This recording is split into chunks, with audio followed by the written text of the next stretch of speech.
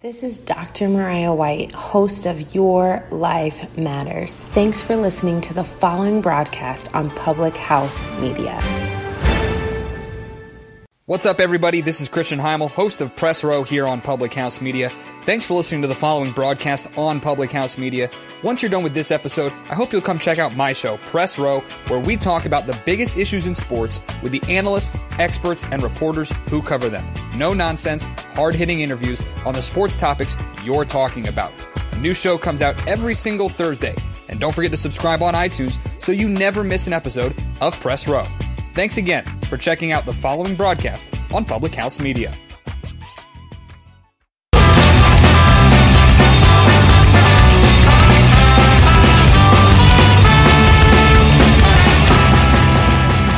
Welcome to How to Write Good. I'm your host, Daniel Poppie. Find out more about me at danielpoppie.com. Uh, you can check out everything you want to there. You know what I should put up on my website? Uh, I have a, there is a swag, because that's a word. It's a stupid word. I think I've said that before.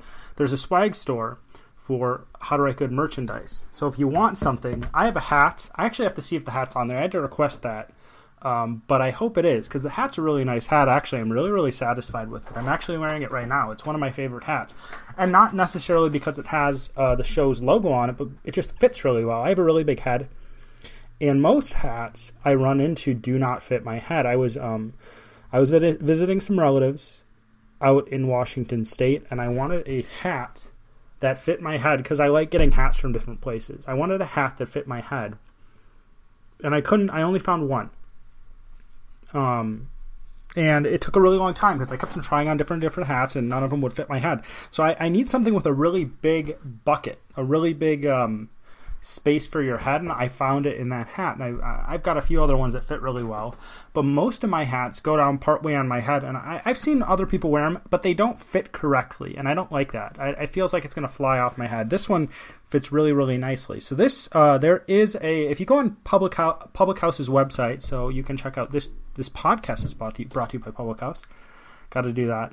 You can check out Public House at thephmedia.com, and there is a How to Write Good um, page, and I believe the store is on the page, but otherwise you can go to store, you can go to How to Write Good. But I need to link the How to Write Good store on my own page because maybe somebody wants something. Because honestly, my my logo looks good on anything. This hat has a blue blue brim and it's a baseball cap and it has the logo and the logo is actually it's not just a print it's actually um, embroidered it's an embroidery so it's really really nice you can also get a cup if that if you really really want that. But the hat is if you have a big head, if you have a big head, you gotta you gotta connect to the people who make uh, the hat. So what you need to do, if you have a big head and you have trouble finding hats, go to the store, uh, check out who makes it.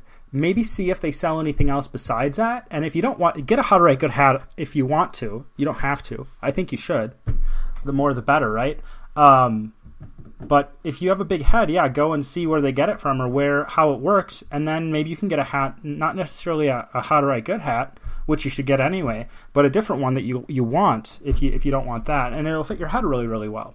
So uh, we're gonna jump in to our word of the week and our word of the week, and I. I have been using this uh, when I write. I reach for words, so I'm like, okay, what am I trying to say exactly here? And this is this has come into my mind a few times. This is what I've been trying to um, this is what I've been trying to what I've been trying to reach for. So you probably heard of the band Evanescence because um, that is a band, of course, and the um, uh, we're going to actually go to the meaning of the word first. So some people, you probably heard this word evanescence, or you probably heard this word evanescent uh, but you might not know what it means. And what evanescent actually means is is soon uh, passing out of sight, memory, or existence, or fading really, really quickly. So think of it as um, think of it as whoops, think of it as the song "Dust in the Wind" by by um, Kansas. Gosh, I really like Kansas. If you have never, so most people know Dust in the Wind. I'm getting off track. Most people know Dust in the Wind. Most people know um, Carry On My Wayward Son. there's so many. That's not even close to their best songs. There's so many excellent songs by Kansas. They are one of the most underappreciated bands that I've ever run into. Honestly, they're they're one of the most famous but underappreciated bands. I, I, I don't understand it. So Evanescence. So it's it's something that's going out of its existence really quickly. Dust in the Wind is gone. Uh, it's kind of like a vapor, stuff like that. So. Um, I guess that's I mean, and Evanescence. It reminds me of the band, and uh, so it reminds me of like late '90s rock kind of stuff, which reminds me of stuff like Linkin Park. But it uh, actually comes from it comes from the French. Well, it comes from the French, which comes from the Latin. Okay, so in the French, it meant um, something almost imperceptible or something disappearing, which is almost the exact same meaning as it is today.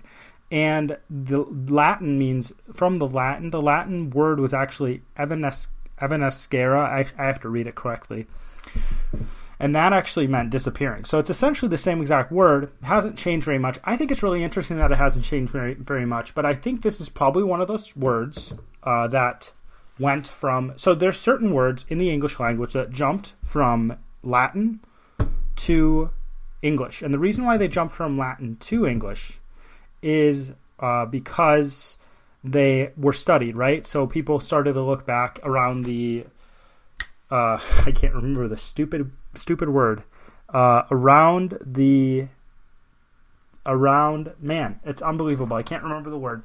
Uh, so around the reformation and around the uh, the renaissance. Gosh. And happens a lot around the re- renaissance and so they started looking back to the classical um, works and that was kind of the language they did stuff in so they adopted a lot of stuff that's why a lot of that's why pretty much all of medicine bases their terminology off of Latin. But there's also uh, bits and pieces of French. So French is essentially Latin, uh, but it's in the French territory, so it's it's more uh, provincial. And then it's, a specific, dialect of Latin. Think of that, and then you add about two thousand years, and then you get French. Or I mean, you get French uh, in about I don't know, probably a thousand years. I don't know exactly, but they probably spoke like Frankish or something like that. But um, you get French. So French is essentially Latin, and it's just adapted to the culture and adapted to how people spoke it, and then changed. And that's why Latin, that's why French and Italian, and Italian is the same thing. Italian is essentially just Latin, and then add fifteen hundred years or whatever. But um, you take Spanish, Italian, Latin. They're all just they're all they're a Spanish, Italian French, and they're all just Latin. But it, so what happened is, and I think I probably said stuff similar to this. It, it, it came it comes from Latin because French was Latin in some form, and then the French took over a part of England, and they um, and they didn't force the English to change the language. English is a Germanic language, but the English adopted a whole bunch of different things. So that's what happened, and that's why uh, Evanescence went from French and then it went to English. All right, we are going to jump into our accidental essence today, and our accidental essence is something that kind of popped into my head the other day, and I just want I want to get it out. And I'm I actually so I recorded a podcast the other day, and I'm actually recording this right now. Um, I'm going uh, I'm not going to be around for the weekend, and I'm so I'm recording one ahead of time more than I would typically. Uh, but what I was thinking is, I'm I'm taking a class, and the there's this um, there is this belief. There's there's two different schools of thought when it comes to writing. I think there's a and I don't think either of them are wrong necessarily, but I think that there can be two. You can be too extreme with either of them, and I think you have to learn from both. There's one that has very rigid rules, which I think is really annoying, and there's one that is, I guess, more in line in, with what I think is you keep on trying and keep on trying until you get something right. So I'm going to talk about so the title of this podcast is a different language than your father's. And by the end of the podcast, you'll know exactly what I mean by that. But when you are studying a language, when you are a novice in the language, when you are a novice in writing, one of the things people tell you to do is read a lot. Now, what you are doing when you read a lot is you're looking back, right? People have already written that stuff and you're looking back at what people have written. I've actually in uh, I'm actually in a in a, a class about Shakespeare, which I'm just finishing up. Which I mean, I had the podcast last week about it. I'm actually in a class about Shakespeare, and the professor made a note to state that oh we should look back at these um, we should look back at this writer because he was really really good and we should learn from this writer and we should look at these great writers of the past to learn how to write better now i i um kind of I kind of think Shakespeare's overrated, and I, I don't like people who who fan fanboy fangirl over him. I'm not a typical. I'm not typically a fan of that in general, but I I, I think um, I think to a certain degree that is correct. I think to a certain degree you have to study different people who write things that are considered good at what they do, especially if you're a novice. Because when you're a novice, uh, if you do whatever you want when you haven't done anything already, so if you're learning a language and you try to write in that language and you think you can do whatever you want, you're going to put a lot of different things in it. But I'm going to get to this in a second. If you um, if so, if you don't know how to write at all, read a lot because then you get a, a, rhythm for the language you get a rhythm for how people do things you could just copy them and you could probably write you could probably you could probably be passable as a writer and there's a lot of people who can't write well that i enjoy actually i wanted to say that so there's not not not that they, they don't write well but they're not phenomenal writers i am reading um, but they may be phenomenal storytellers. There's a difference. I am reading The Wheel of Time. I just finished the second book, and I the, the first one was all right, but it piqued my interest enough to read the second one, which is probably what people are thinking when they read my book. They're like, huh, that piqued my interest. I'm I'm interested enough in the in the first one that I, I would read a second, and I'll see where the second one goes. Now, this I read the second one, and it was a better story. Uh, Robert Jordan, I believe that's his name who wrote The Wheel of Time, and Robert Jordan is not this phenomenal writer. He's not someone you read and you're like, wow, this this guy's a really really good writer. He's someone you read and you're like, okay, he's he's an all right. Now me, that's when I'm reading it. I'm like, okay, he's an all right writer, but I like the stuff he's writing about. So for those of you, this is just a side note. For those of you who think, oh, I'm not that good of a writer, you may have really really, really good ideas. Uh, and just because you're not a really good writer doesn't mean you can't put your ideas down. Because I will read writers who I would say uh, that that have good ideas but aren't necessarily great writers. Um, but sometimes I won't read writers that are these excellent writers, but they don't have good ideas to put down. They, they just write boring stuff. That's why I want to write. That's why I like it writing adventure because I think it's fun, and I hopefully am a good writer. But we'll see. Whatever. Um, so when you are beginning and you're like, well, I don't know what to do. Uh, you don't know where to start. Essentially, if you've if you don't know where to start with writing, if you are like, man, I just don't know how to find the words, I would say read. Because there is a pattern uh, to the written language. There is a pattern that we follow. There are rules. There are rules to the language we speak, right? Therefore, there are rules to the language we write. I, I, I would say that some of those rules for writing do not need to be rules, uh, dangling modifiers. Some of those rules do not need to be rules because the language actually doesn't restrict them. Because I believe we use dangling modifiers within our own speech and people understand them. Therefore, why do we care about them in our writing? Or um, prepositions at the end of a sentence that we talk with, right? Prepositions at the end of the sentence are used at the end of the sentence all the time in spoken word, and they are and people um, people understand it completely. There doesn't seem to be any issue with it but we uh, but people in the writing world say oh this is an issue. There's oh, there's other things like that. So there are some issues to be there are some issues with writing. There are some issues with the rules of writing but at the same time uh, the people who if you read a lot what you what what it does so you've got people who spent a lot of time writing. You've got people who really uh, in a lot of cases studied what they're trying to do. And even if you don't necessarily read uh, the best writing in the world you're still getting you're still getting a sense of how to put together different things. Uh, I think that when you are first starting to write, you should read and you should read and you should read. I think you should read a lot and you should um, you should fill up a lot of time with with reading. But if you are reading and you are an excellent, like if you're the best writer in the world, let's just say you're the best writer in the world. If you are the best writer in the world and you read and read and read and read, well, you're reading people who are are not better, who aren't better than you. You're reading everybody who's worse than you. So, are you going to pick up bad habits from those people who are worse than you?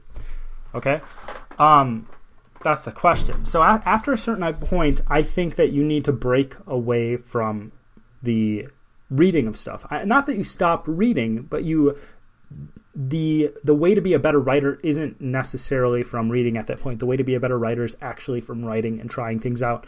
Um, one thing that I pride myself in that I, I, I, may not be the best writer, I may not be a very good writer at all. I, I don't really, I'm not able to assess myself as a writer. I don't think I can. But one thing I really pride myself with is I'm willing to put myself out there and try new things. So somebody may be like, I don't like how you did this, or you should change this because this isn't how people write things. I'll be like, well, did I try something new? Uh, did I stretch myself? Did I try, did I try to go out, outside of my limits as a writer? And um, and if the answer is yes, I'm okay with that. And I'm sure I've said this before. That is what I want to talk about today. So you've got, and this kind of connects back to Shakespeare. So you've got Shakespeare, and we're gonna we're gonna connect it to Shakespeare. And I'm gonna get my prop of my book that you can't see at all. Right now, I'm holding The Merchant of Venice. I have a nice little hard copy. I have read The Merchant of Venice. Uh, I actually enjoy The Merchant of Venice because it. Um, quick side note: in The Merchant of Venice, so Shakespeare Shakespearean plays were all uh, the actors were all men, which is terrific, and they should still do it with all men. I know that girls want to play the actors in Shakespearean plays, but it would make it so much funnier. Uh, what happens is there are two women who go to Venice uh, and they disguise themselves as men. So if you are watching this at Shakespeare's time, it would be phenomenal because you have two men who are acting as women because everybody, all the actors were men, and there are two men who are dressed up like women who are disguising themselves as men, which I think is awesome. But uh, Shakespeare as I was saying in my last episode, Shakespeare is essentially almost com- a completely different language than what we speak today. Uh, the way we write today is is very very different. The way we write today compared to the 1700s is different. You can you can or the 1800s can compare some of the writings of people in the 1800s. Say say you're reading um, Mark Twain. Mark Twain writes differently. People wrote differently. There was a more more formality in how they wrote than what they write today. And I would say that Shakespeare, there's a big, big difference between how we write today and how, how we wrote, how people wrote back then. then. Actually, there's such a big difference, and I mentioned this in my Shakespeare episode that if that that that people say, okay, Shakespeare is really good, and then like we should read Shakespeare, as my professor did said, we should read Shakespeare to learn how Shakespeare uses language so we can be better writers. But if you try to apply, and I, I seriously think this is the case, if you try to apply different things that Shakespeare did in his writing, someone who is in the literary world would tell you that you shouldn't do it. Now, if you told them it was from Shakespeare, they'd probably say, "Well, you're not Shakespeare." But if you didn't tell them that it was that it was an idea that you used or, or something that Shakespeare did, they would probably just tell you not to do it. Right? If you used a lot of alliteration in your prose, they would probably be like, hey, there's too much alliteration in the prose. It's too flowery. We don't like it. Why don't you change it? Make it really, really plain. Um, now, the reason why this happens, and the reason why I, I talked about this in my uh, episode on Shakespeare, so last week's episode, is that the language has changed. The way people write has changed. The way people uh, think has changed. The the psyche of someone from the um, 17th century, the 17th century, I believe. Yep the psyche of someone from that century is different. The, the thoughts, the paradigm they're thinking from is different than people who uh, are from this century. So they're going to write differently. Okay. Now, at the same time, you could say, okay, there's a lot of people in the past, and we can look back to their writing, and uh, we can learn from their writing and I think that's good. There's a lot of people who are more contemporary. There's people who are the founding fathers of the United States. There's there's uh, great writers that are in American literature. There are people from those time periods. Now, um, yes, yes. As I stated before, if you are a novice writer, look back at the different uh, look back at the different writers in history. Look look at a lot of people who are writing in your own time period, but uh, there from generation to generation, there's a shift in the language. I mean, we call it slang, but there's a different way. Generations are different. My parents are different than than me. How my parents' generation functions is different than me. Uh, the generation that is just one above me, generation well, my, are my parents technically in Generation X? I'm not sure. Generation X is different than me. Gen Z is different than me. I'm a millennial. I'll take that. Um, there there are different groups of there there's just a different way people function in it okay? So what goes along with that is the way people speak the way people function. There's a different um the, the word there's a word that's german and a lot of people know it. It's very cliche now but it's the idea of a zeitgeist. It's the spirit of the times and there's a different spirit within each generation. There's a different spirit that's going on within each generation. So you could read and i'm talking about people who wrote in the 70s you could read people who wrote in the 70s or or you could even read people who are like 60 years old, 55, 60 years old, around that, 40, 45 to 60, whatever, who are writing now and they're going to write differently than people who wrote, who are writing that are my age or people who are writing that are 17. There's going to be a difference in that. The reason why um, you should read the books, you should find the frame, the framework you should figure out what the framework is to write well. But what you but every writer at some point I think needs to break from that mold and they need to try to understand. They need to try to understand the world from their their generation's perspective in a way, like they're trying to take that spirit of their generation and bring it into the writer. They are a so for example, if you are a boomer, if you are a boomer, there's uh, I think that you should try to um, capture what it is. Uh, not necessarily writing about that, but, but it's coming out through your writing. So I, I think that everybody should do this. And if you are a millennial, or if you're Gen Z or whatever you are, you are or, or whatever. I don't know what what is the generation uh, below Gen Z. I have no idea. Is there a generation below Gen Z yet? If you're that, you should. Uh, you have the you have the right, and I, I think that you have the responsibility as a writer in a way. And I don't really, put, I don't try to put rules on people because I think that that there's so many people already putting rules on writers already that it restricts them. But I'm trying to free you. I'm trying to free anyone who's a writer up to write in a way that they find is best for them to write in that's very unique. Um, I think that if I am a good writer, if I'm a unique writer, one of the reasons why I am is because I, I was by myself writing and I was just trying to figure it out myself. And I did tons of reading. I, I, I've always been a big reader. I've kind of slacked off in the, oddly enough, I've slacked off in the past uh, few years because I've been busier because I'm an adult and life just gets busy. But as a kid and as a teenager, I read a lot. I read like a book in a, a couple days. Um, and I think that helped. But even at the same time where I was reading a lot, I was writing a lot. And what I did when I was writing, I experimented a lot. I tried something. Like I said before, I'm really I don't care what like I do care what people say about my work. I want people to like how I write. I want people to like what I write about. But if somebody says they don't like it, as I was saying before, how I judge whether I've done a good job is did I try something new? Did I stretch myself? Uh, and that's what I was doing as I as I grew up. That's what I was doing as I grew as a writer. And it's been 14 years. Um, I'll just 14 years since I started writing. 14 years since I tried tried different things out. And um, I was going to say something, but I can't remember what it was. And I started with that base where I was reading a lot. I was I was taking what in stuff, I was putting it out, and I was doing a lot of copying, and I was doing a lot of stuff that was derivative. Um, and that's what's going to happen if you are so concerned with the rules that are placed upon you as a writer. So if your if your writing has to be in a very specific way, if you have to if you have to follow the example of every single person like if there's like these are the excellent writers in history how is your writing writing going to be if those are the excellent writers in history? Well your writing is going to be really similar to theirs. Now you might be like hey that's a good thing because they were excellent writers in history but the issue with it is the language has changed I believe the language has changed even in a generation. It's it's very very subtle, but it's different. The language has changed, the culture has changed within a generation.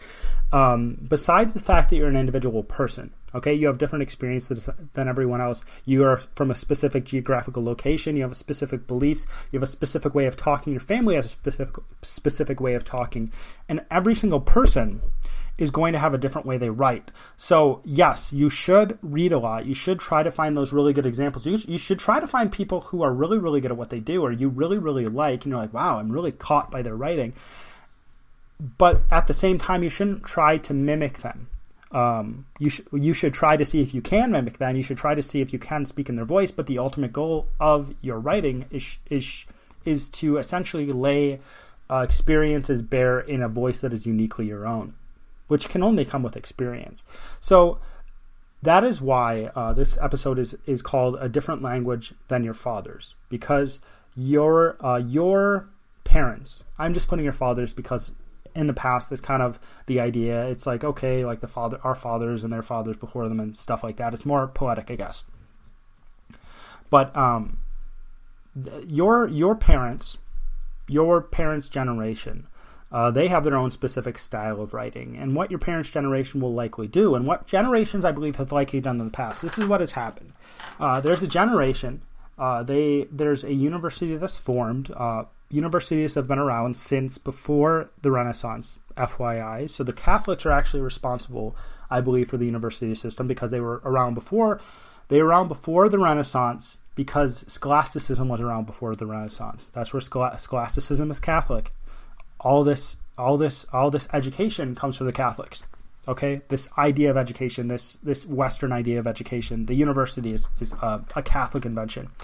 And what they did, I believe, is that there's there's a generation that comes up, and the generation gets in power, and the generation of writers says this is how we do things, and the next generation comes up, and the next generation is rebellious because every generation is rebellious. And if your generation is not rebellious, get rebellious people seriously. Like, uh, if you're not rebellious in some capacity, especially with your art, I feel like you're not doing something right.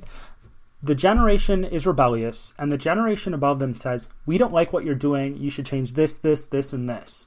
And then the generation below has two choices. Uh, the, the, people in the generation below cre- creating art, they can be like, yeah, I'll conform to what you're doing. Or they'll be like, no, no, I'm going to stick to what I'm doing. I'm going to stick to how I do something, and I'm going to make something great because of this. And I bet if you want to look throughout, actually, yes, I can. I can look at music with this. If you look at music, now you could say music has deteriorated. Okay, the music has not deteriorated. It's ju- it's just folk music evolved. Okay, there's always been folk music. There is still classical music in the world. There's always been folk music and folk music has evolved. So, and folk music is, I believe that um, there there are. If you are upper class, you identify more with classical music, and you've always identified more with classical music. But classical music is someone highly educated and someone highly involved in the music. And I'm not saying the music is bad. I'm not saying saying it's very very not not sophisticated. But I'm just saying there is a there is something in more popular music that reaches people and the reason why it's popular is because it reaches people on a different level than just classical music. Classical music can certainly reach people on those different levels. But there's always been folk music, there's always been people singing. There's always been people singing songs and writing music that is just for a local community. And our local community, we have the capacity to mass produce that, so it kind of gets spread out. So I think there is a, there's always a place for that. Maybe it's overblown, but within the music scene, uh, you had uh, rebels who essentially shifted how the music scene worked, and they shifted it and they shifted it and they shifted it. So you'd have stuff like Frank Sinatra, right? And I don't know uh, after Frank Sinatra, uh, he, when he was still alive, you, you had stuff, people like the Beatles. And I'm not a big fan of the Beatles, but they were doing new stuff, right? Then you had stuff, uh, the Beatles, and, and then you had Pink Floyd in the 70s, and they were doing something complete, like similar to the Beatles, but different. It was still in the same genre, but they were doing something different. And then you had um, people in the 80s, which I don't know what happened there, but it was something different, and that's all right. And a lot of people like the 80s. I had a teacher in high school who thought 80s music was excellent. And then the 90s changed stuff, and actually, uh, even the early 2000s did something different. They reinvented the wheel, and that's what happens with art. And that's why that's why you can't just rely on, on people who wrote stuff before. That's why you have to do stuff your, yourself. That's why you have to discover how to write yourself. That's why you have to discover how to be a good writer yourself because the writing is different, the language is different, how you function is different than the people in the past, how you are going to, ex- going to express yourself most honestly, how you are going to express your experiences most honestly, uh, most completely how you're going to express your experiences in the way through writing that is the best is going to be different than your parents. It's going to be diff- different than the generation above you. If you really want to get specific, it's going to be different than other people. All right. That is why um, I am all in favor of people going out and trying to figure it out themselves.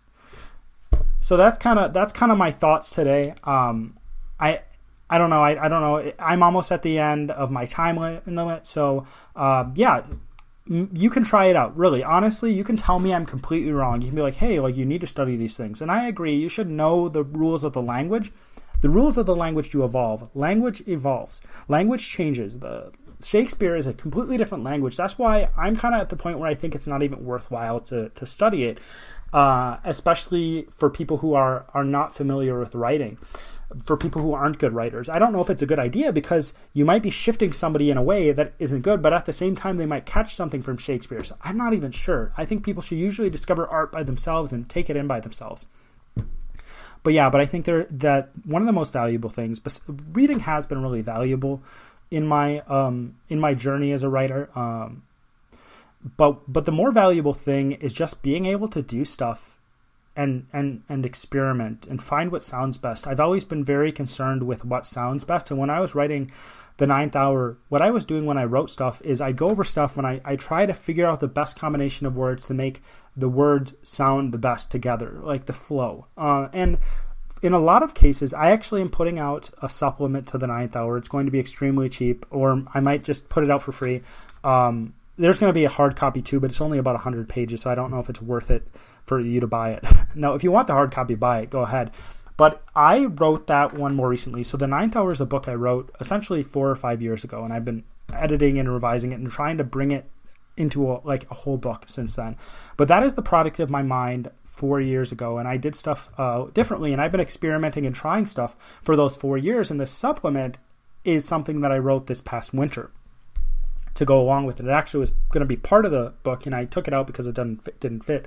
It, it was too long. It, it didn't fit together well. It didn't it didn't um, run together well.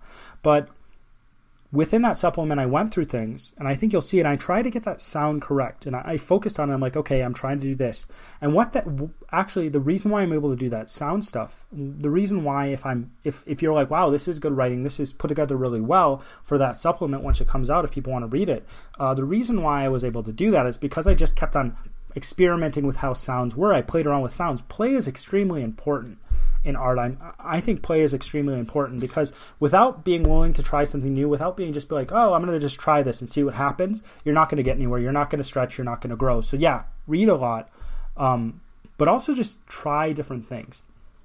So we're going to jump over to our logical fallacy. Now, one thing that doesn't change is logic. Uh, logic is logic no matter what. Uh, like I said, there are specific rules in the world in existence. Something something uh, can't exist and and not exist at the same time. It can't be exist in the same way in the same manner and not exist at the same time. So there, you can't have specific contradictions um, in the world. For example, I can't um, I can't exist and then I can't I can't be alive and dead, right? I can't be both alive and dead at the same time um, in the same way. So you could you could get all metaphysical and you can get all spiritual to talk about that. It, but in in how i'm living right now it can't be the case. So today we actually have i see this happening a lot and i think it's really annoying because i think it's i don't think people do it on purpose but i think that it is really disingenuous and i think it makes someone who is actually probably presenting a good argument feel stupid because they feel like they're constant the they're constantly trying to catch up with something. And this is the uh, logical fallacy of moving goalposts or shifting goalposts so what this is is um, is you state, for example, you state that um, McDonald's, which I'm not a big fan of McDonald's. If you love McDonald's, go for it. I don't care. You say McDonald's is the best burger in the world, and you say McDonald's is the best burger in the world because it has pickles on it. And I give a really good argument for why it, do, it is not the best burger in the world, and the pickles aren't even good. And you're like, well, the, the, the lettuce is really, really good. And then I give an argument for how the lettuce isn't good, and you keep on shifting from one ingredient to the other. That's a really simplified version of what moving goalposts are. I, I actually see this happen a lot. Um, I, I, see this happen a lot when people are arguing, when people keep on shifting what they're talking about. They keep on shifting what is required um, for the other person to be correct, which is which is disingenuous. Which I don't think I don't think people realize they do it, but I think that people should be aware of it um, because it is a logic fallacy. It is a bad way of thinking. It doesn't work. All right, that is all I've got for you today. Don't fall into the logical fallacy of shifting goalposts. Read a lot, write a lot, experiment a lot, try to find that uh, try to find that unique way you do things. Try to find that unique way you speak, because that is going to be better if you can do that and you can capture people's. Um, if you can capture people, you've developed a style that is uniquely your own. It's not derivative of somebody else's, and I, I really think that's where really good art comes from. As always, uh, I hope you have a good week. Well, I don't always tell you to have a good week. I hope you have a good week, and I am Daniel Poppie. This is How to Write Good.